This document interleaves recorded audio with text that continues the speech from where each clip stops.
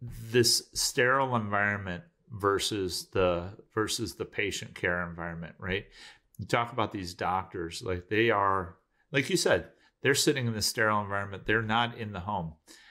What you're actually proposing is that this machine, this AI assisted machine, is isn't located at a pharmacy, right? It is actually located in their home and helps them uh, helps them with uh, the dispensing of the medication because I think you talked about a, uh, creating a chain of custody between the pharmacy all the way you know to the dispensation, which actually had this been around you know uh, 10, 10 plus years ago could have had a huge positive impact on uh, on on overcoming the opioid uh, crisis that we just had. So talk a little bit more about that.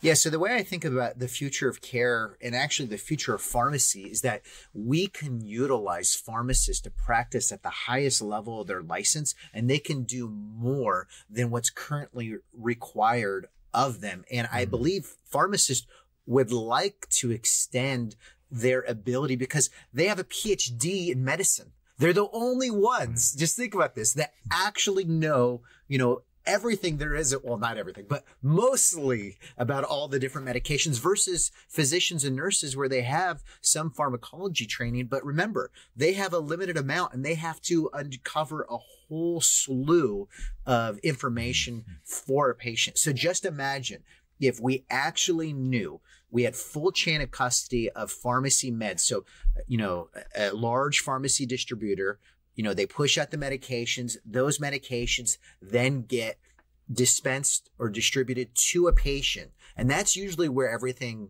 stops.